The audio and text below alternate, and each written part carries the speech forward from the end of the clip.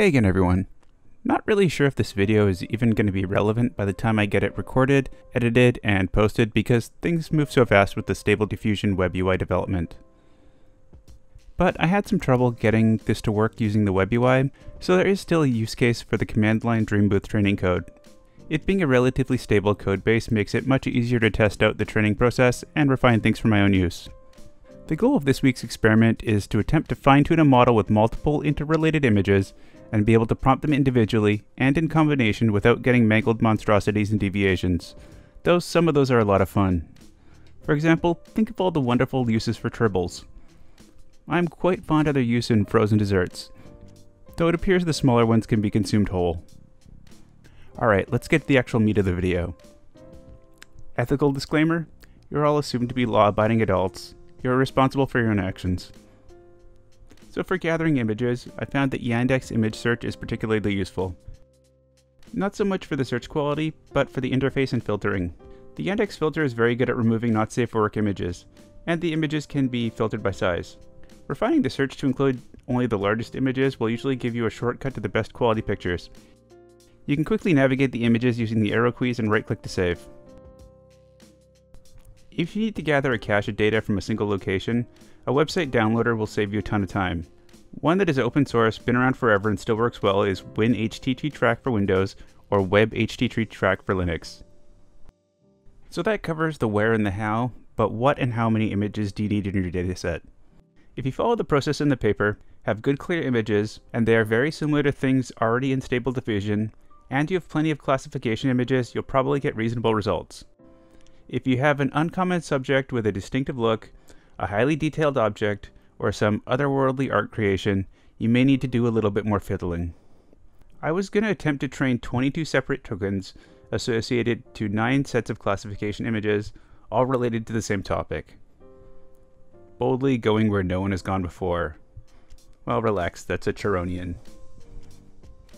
Making 22 datasets with multiple images per set can take quite a while, so I'll try to share a few ideas to speed things up.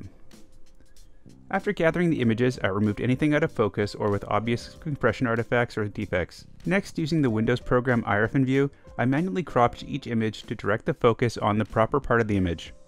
The training script will automatically crop and resize images fed in, but it's unlikely to grab the best portion unless your figure can be captured with a center cropping. The script can still handle resizing, so that will save quite a bit of manual labor. Within IrfanView, click Edit, and then click Create Custom Selection. Under box 1, set the ratio of height to width to 1 to 1, and then hit Save Values and Exit on the right hand side. I recommend mastering the keyboard shortcuts to make this process less painful. Hold the Control key down and drag to create a square crop around your area of interest. Press Ctrl plus Y to crop, and then press Ctrl plus S to save. If you press enter twice, you'll save over the original file and accept the warning. It's like playing a very repetitive song on a silent piano. I'm going to pop my dataset in here and scroll through it really quickly to give you an idea of what images I used for a couple of the tokens. That way you can compare it with the output later from the completed model. Up first, and not just for laughs, is the Cheronians. Makeup is difficult for stable diffusion, and I wanted to see how it would cope with drawing a straight line down the middle of a face. I didn't have a great set of images to work with here, but there should be enough clear frontal shots for it to pick up a general idea. I had fewer for Nurse Chapel, but there are a few high resolution headshots, and some mid body shots, and a few body positions in a variety of backgrounds. I tried to crop these with an obvious focus on the face, and then I did the same for Chekov.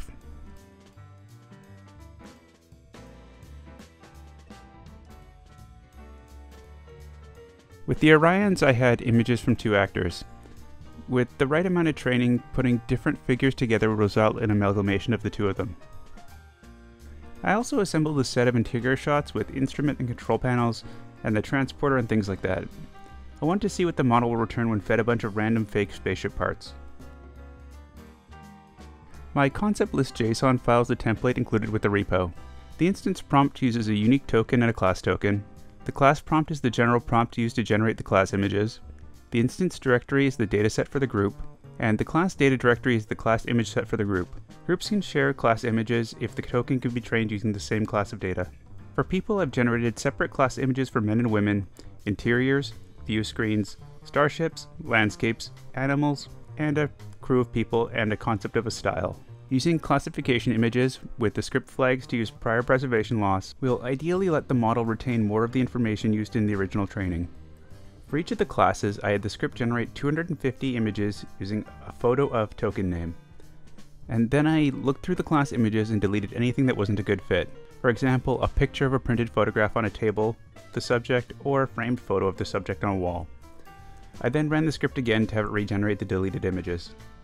Though if you find the Shivam Shrirao script is slow at generating class images, you could generate 512 by 512 class images using the web UI and copy them over to your class data image folders. I see a lot of conflicting information online about training parameters, and I don't claim what any of what I'm doing is the proper way, but it seems to work well enough. For this training I'm going to use the with prior preservation loss flag and a prior loss weight of 1.0, which is from the readme in the Shivam Shrirao repo. I'm also using the train text encoder flag. This repo provides a table with the approximate GPU memory requirements and the flags which affect them, so you can choose which best fits your model. The original paper suggests 3 to 5 Im images and training for 200 epochs. So if your training batch size is 1, 4 images for 200 epochs, that would be 800 steps. It also suggests that there should be 200 to 300 classification images for each sample token in the dataset. But for my odd scenario, that would be tens of thousands of images, so I'll stick with 250 for an arbitrary number. So say my training batch size is 1, and I have 200 images in all of my datasets combined. One epoch or one trip through all the images would take 200 steps. 200 epochs would be 40,000 steps. Training my model that much without adjusting the 1e6 learning rate would probably result in an extremely overfit model because a lot of the images, although different, contain similar enough visual information. It may also not overfit your data but simply forget other data, resulting in bland images. Set the save interval to correspond with the number of steps in one epoch. So to say it another way, the number of images in your dataset or some multiple of it. Why not just use like 500 or 1000?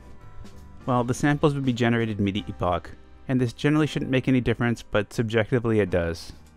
As the model trains, if you examine your sample images closely, you'll see that certain things become muddy, then more detailed, then more clearly overfit, and then we'll probably cycle back to some sort of visual clarity, but probably in a simpler form. With this model, for example, many of the faces became quickly overfit, while the insignia on the uniform was uniformly misshapen across all the figures trained. As the model progressed, the faces became more realistic looking again, and the emblem took on its proper shape, but the resulting images were a little simpler in their composition.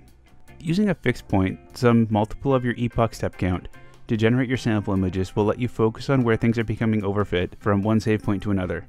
That way you can decide where to stop your training. If you're going to use a huge dataset like this, you're going to want to keep an eye on your sample images and save several checkpoints of your model. Unfortunately, this script will only generate one sample prompt for the entire dataset per checkpoint. Try to provide a similar number of images of similar quality for each subject you're training, otherwise you'll overtrain some areas and undertrain others.